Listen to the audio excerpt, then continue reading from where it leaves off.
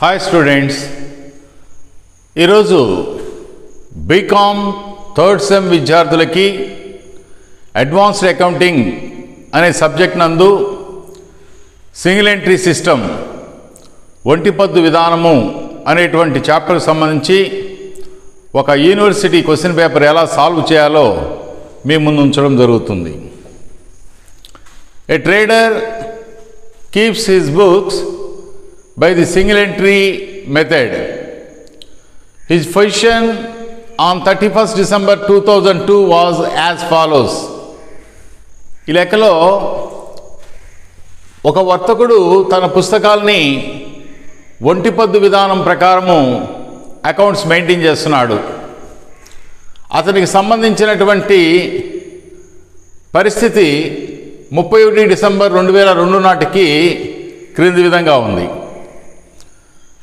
ఇక్కడ ప్రారంభం నాటి ఆస్తులు కొన్ని ముగింపు నాటి ఆస్తులు అప్పులు కొన్ని ఇచ్చినాడు ఇక్కడ ప్రారంభం నాటి ఆస్తులు అంటే అప్పులు అంటే ముప్పై ఒకటి డిసెంబర్ రెండు వేల రెండు. ఇది ముప్పై ఒకటి డిసెంబర్ రెండు వేల మూడు అని ఇచ్చాడు. ముప్పై ఒకటి డిసెంబర్ రెండు వేల రెండు అంటే రెండు వేల రెండు డిసెంబర్ ముప్పై ఒకటి నాటికి ఆ వర్తకుని యొక్క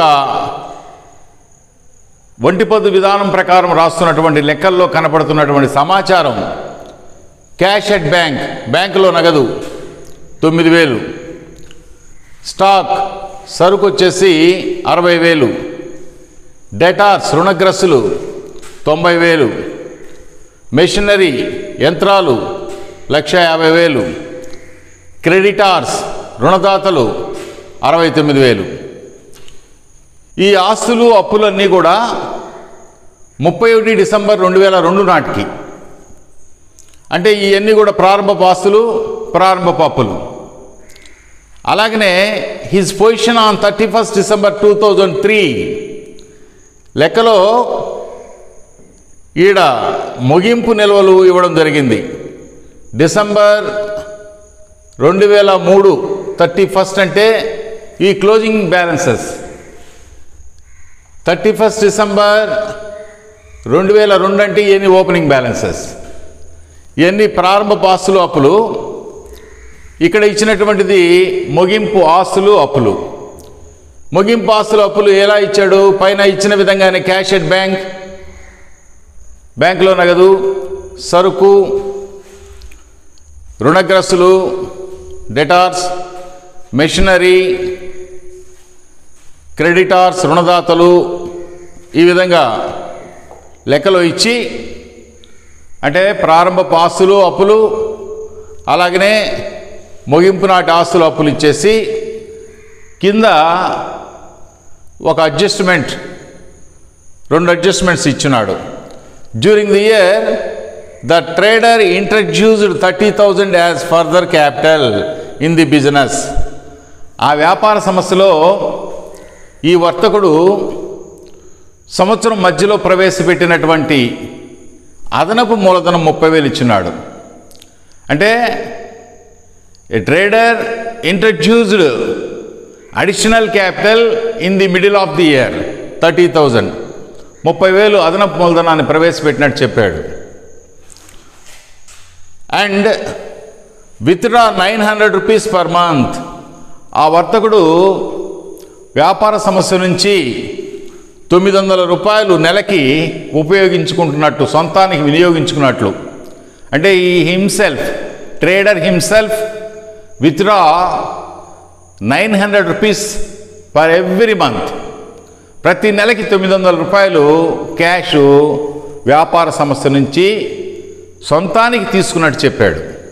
ఈ రెండు అడ్జస్ట్మెంట్స్ అదనపు మూలధనము సొంత వాడకాలు ఇచ్చేసి ప్రారంభ ఆస్తులోపులు ముగింపు నాటి ఆస్తు ఆస్తులోపులు ఇచ్చేసి from the above information you are required to ascertain the profit or loss made by the trader ఈ సమాచారం యొక్క సహాయంతో వర్తకుడు ఒంటిపద్దు విధానంలో ఉన్న ఈ సమాచారం యొక్క సహాయంతో వ్యాపార సంస్థ యొక్క లాభ నష్టాలని కనుగొనమని చెప్పి విద్యార్థిని క్వశ్చన్ చేయడం జరిగింది. ఫస్ట్ మనము ఒంటిపద్దు విధానంలో లాభ నష్టాలు కనుగొనాలి అంటే ఫస్ట్ మనం చేయాల్సింది ఏంటంటే విద్యార్థిగా ప్రారంభపు వ్యవహారాల నివేదికను తయారు చేయాలి. ప్రారంభపు వ్యవహారాల నివేదిక అంటే statement of affairs of the trader as on thirty first twelve thousand two. అంటే రెండు వేల రెండు డిసెంబర్ ముప్పై ఒకటి నాటి ఆస్తులు అప్పులన్నీ కూడా బేస్ చేసుకొని ఆ వ్యవహారాల నివేదిక తయారు చేయాలా? అసెట్స్ లైబిలిటీస్ అప్పులు ఆస్తులు. ఈ యొక్క లెక్కలో ఇచ్చినటువంటి ప్రారంభపు ఆస్తులు అన్నీ కూడా ఆస్తుల వైపున క్యాష్ అట్ బ్యాంక్ క్వశ్చన్ పేపర్లో ఇచ్చిన తొమ్మిది వేలు స్టాక్ సరుకు అరవై వేలు డెటార్స్ రుణగ్రస్తులు తొంభై వేలు మెషినరీ యంత్రాలు లక్ష యాభై వేలు. అలాగనే క్వశ్చన్ పేపర్ చూసి ప్రారంభంలో ఉన్నటువంటి అప్పులు క్రెడిటార్స్ ఇచ్చినాడు కాబట్టి రుణదాతలు అరవై తొమ్మిది వేలు వేయాల. అంటే ఆస్తులన్నీ ఇటువైపేసి అప్పులు ఇలా వేసి నిల్వదేల్చాల. ఇప్పుడు ఇవన్నీ కూడితే మూడు లక్షల తొమ్మిది వేలు ఆస్తులన్నీ కూడితే.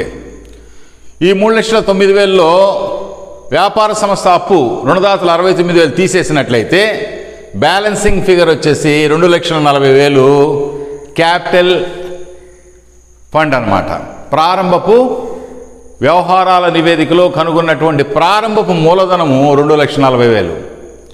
ఇలాగనే లెక్కలో ఇచ్చినటువంటి ముగింపు ఆస్తులు అప్పుల్ని ఆధారంగా చేసుకొని ముగింపు నాటి ప్రారంభపు నాటి మూలధనం ఎలా కనుగొన్నావో ఈ వ్యవహారాల నివేదికలో ఆస్తులు ఇటువైపు వేసి అప్పులు ఇలా వేసి ఆ రెండింటి తేడాని ప్రారంభపు మూలధన నిధిగా క్యాపిటల్ ఫండ్గా భావించావో అలాగనే ముగింపు అంటే ముప్పై ఒకటి పన్నెండు రెండు వేల మూడు.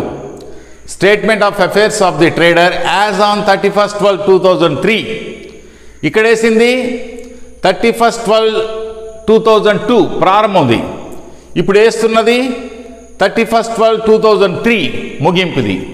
ముగింపు నాటి ఆస్తులన్నీ కూడా cash at bank stock debtors machinery ఆస్తులన్నీ ఇటువైపేసి క్వశ్చన్ పేపర్ చూసి అలాగే అప్పుల వైపున క్రెడిటార్స్ ఎంత ఇచ్చున్నాడు అంటే డెబ్బై ఐదు వేలు ఇచ్చున్నాడు. డెబ్బై ఐదు వేలు ఇలా వేసి నిల్వదేల్చినట్లయితే ఆస్తులన్నీ కూడితే మూడు లక్షల యాభై ఏడు వేలు. ఆ మూడు లక్షల యాభై ఏడు వేలలో డెబ్బై ఐదు వేలు క్రెడిటార్స్ తీసేసినట్లయితే బ్యాలెన్సింగ్ ఫిగర్ రెండు లక్షల ఎనభై రెండు వేలు capital fund at the end of the year. ముగింపు మూలధన నిధిగా భావిస్తాం. అంటే ఇప్పుడు వరకు మనం చేసింది ఏంది? ప్రారంభపు వ్యవహారాల నివేదిక statement of affairs at the beginning ప్రారంభపు నివేదిక తయారు చేసి ప్రారంభపు మూలధనం కనుక్కున్నావు. ముగింపు వ్యవహారాల నివేదికను తయారు చేసి ముగింపు మూలధనం కనుక్కున్నావు.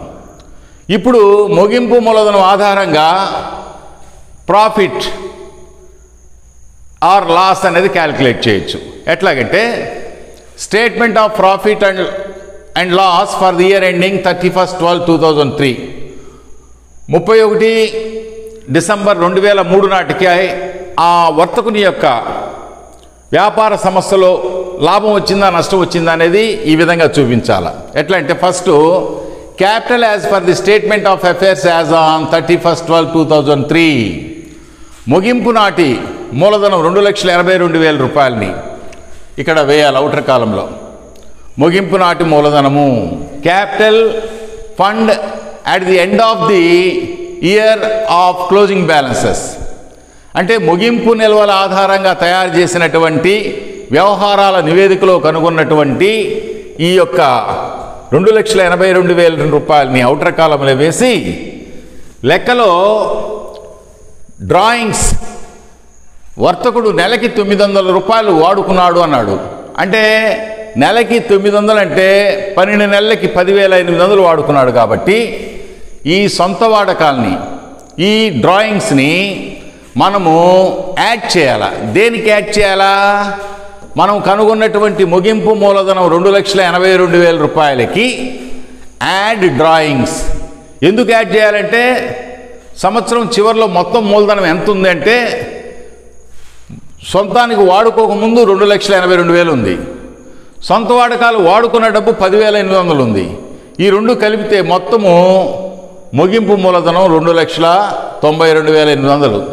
This is the total capital fund at the end of the year సంవత్సరాంతంలో ఉండేటువంటి మొత్తము ముగింపు మూలధనం ఇది.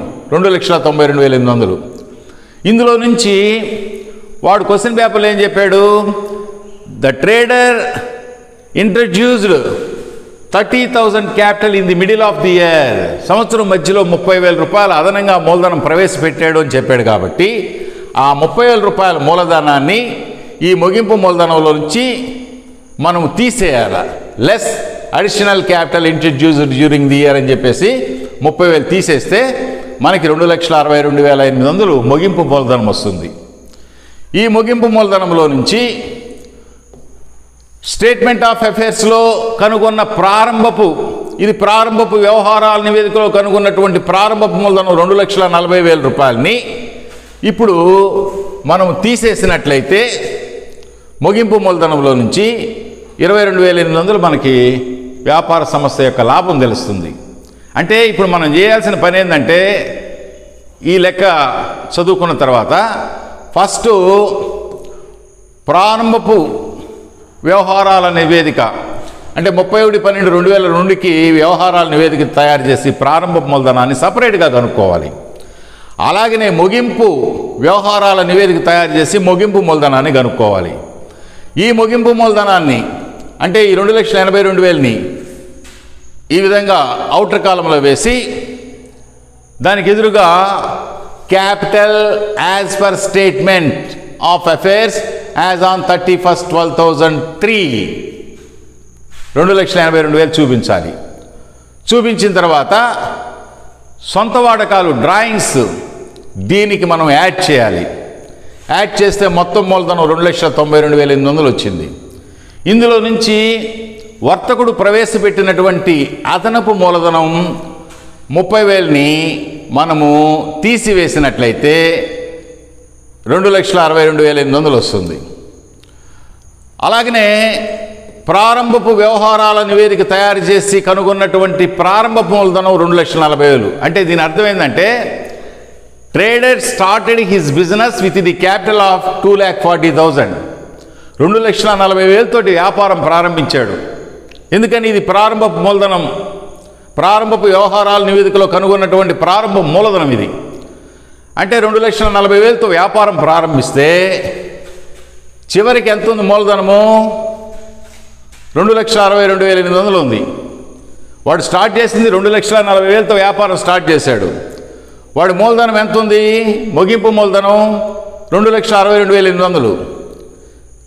సార్ ఇక్కడ రెండు లక్షల ఎనభై రెండు వేలు కనుక్కున్నాం కదా అంటే ముగింపు మూలధనం. ఆ ముగింపు మూలధనానికి సొంత వాడకాల్ని కూడి మధ్యలో ప్రవేశపెట్టిన మూలధనాన్ని తీసేస్తే నికర ముగింపు మూలధనం రెండు లక్షల అరవై రెండు వేల ఎనిమిది వందలు. అంటే net capital at the end of the year వచ్చేసి రెండు లక్షల అరవై రెండు వేల ఎనిమిది వందలు ఉంది. సంవత్సరం చివరిలో. ప్రారంభంలో అతను స్టార్ట్ చేసినటువంటి వ్యాపారం యొక్క మూలధనం రెండు లక్షల నలభై వేలు కానీ తీసేసినట్లయితే అంటే రెండు లక్షల నలభై వేలతో వ్యాపారం స్టార్ట్ చేస్తే సంవత్సరం చివరిలో రెండు లక్షల అరవై రెండు వేల ఎనిమిది వందలు. అంటే ఇరవై రెండు వేల ఎనిమిది వందలు లాభం వచ్చిందని దాని అర్థం. అంటే the trader has started his business with the capital of two lakh forty thousand and finally he got the capital at the end of the year two lakh sixty two thousand eight hundred the difference between the closing capital minus opening capital this twenty two thousand eight hundred treated as profit కాబట్టి లెక్క చక్కగా చదువుకొని slides అన్నీ కూడా గమనించి అర్థం చేసుకుంటారని ఆశిస్తూ ఈ వీడియో కానీ నచ్చినట్లయితే బెల్ ఐకాన్ బటన్ నొక్కి సబ్స్క్రైబ్ చేయండి. మరొక టాపిక్లో మిమ్మల్ని కలుస్తానంతవరకు సెలవు. ధన్యవాదములు.